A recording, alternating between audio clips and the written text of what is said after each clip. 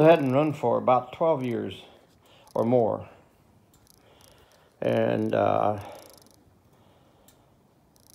cleaned it up a little bit. The carb was really dirty. And actually the uh, one of the set valves, set screws were was really rusty even.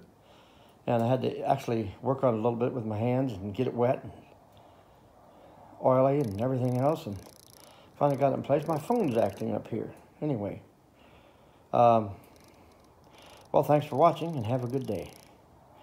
It's an old, that's an old, I think it's an eight horse Tecumseh. I'm not sure how to tell how many um, horse it is, but um, it hasn't run for at least 12 years, and uh, that I know of, and maybe more. But anyway, sorry for the fuzzy uh, picture here. Have a good day. Thanks for watching.